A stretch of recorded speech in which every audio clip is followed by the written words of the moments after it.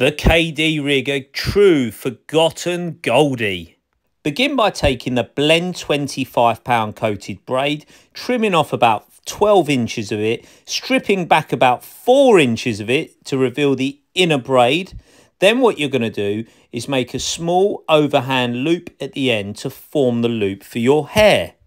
Once you've formed the loop like so, you're then going to trim the tag end, take your boilie, hopefully a nice high track soak one, put that on the hair and then use the bait blob to secure the bait in place.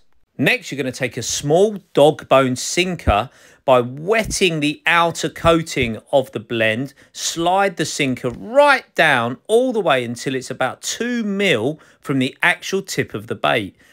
Now take a size 6 convy hook. This is the perfect pattern for the KD rig. You're going to put the braid through the back of the eye and then what you want is the hair length to be basically the bend of the hook shaving the top of the bait. Then the knot is special. Two turns above and then trapping the hair in place, you're going to go under the hair and then you're going to do another five or six turns below nice and slowly. Make sure that knot is bedded in perfectly and you'll see this is kicking the hair out at an angle much closer to the eye.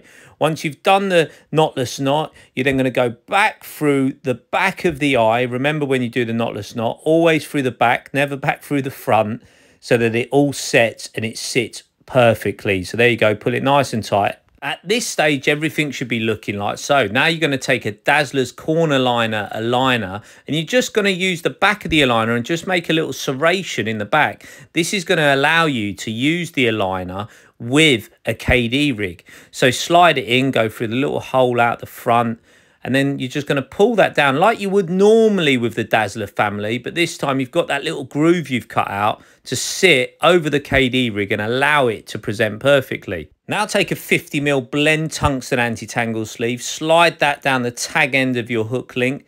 You're now going to make a twisted figure of eight loop.